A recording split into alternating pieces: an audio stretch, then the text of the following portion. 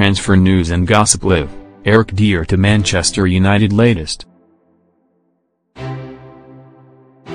Manchester United, Chelsea, Arsenal, Tottenham, Liverpool and Moneybags Manchester City are all in the market for new signings.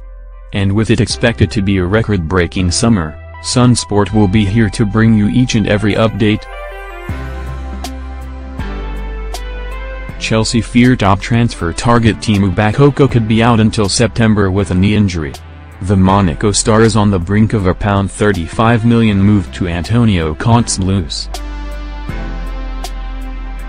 Ajax teenager Milan Baros has apparently confirmed his move to Manchester United amid interest from Chelsea and Arsenal. The 16-year-old left the Dutch side in the summer after reportedly agreeing a deal in principle to move to Old Trafford. Stoke City have emerged as favourites to edge out West Brom in the tug-of-war over Chelsea's on-loan defender Kurt Zouma. Sun Sport understands Albion's money men were left reeling when Chelsea informed them it would cost a hefty £7 million to hire the 22-year-old French international for one season. Chelsea starlet Nathaniel Chalobah will join the Stamford Bridge exodus with a bargain £5 million price tag on his head.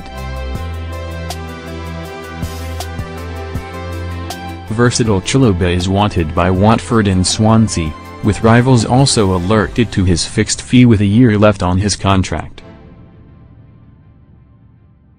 Manchester United have confirmed that Adnan Januzaj has left the club with a player thanking some of the coaches and staff at Old Trafford. The 22-year-old Belgian has joined Spanish side Real Sociedad on a five-year deal for £9.8 million.